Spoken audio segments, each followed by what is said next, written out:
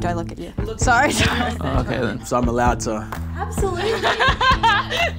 My name is Simon Thornalley. I'm the founder of Saltwater Eco Tours and I'm based on the Sunshine Coast. I'm a Torres Strait Islander, so I was born into a life on the sea and born into that connection with the sea. So we're trying to showcase Indigenous culture locally as well as from the Torres Strait in combination with a historical method of sailing. It's a timber boat, it's built out of Huon Pine from Tasmania. No winches, no electronics, pulling up square-shaped sails. It's like a, a pirate ship, I guess, would be a good way to describe it. I love the Sunshine Coast because it's a sleepy beach sort of town, but there's so much to do there. We've got beautiful beaches for surfing, diving, sailing, ecotourism. Yeah, it's just a great place to be.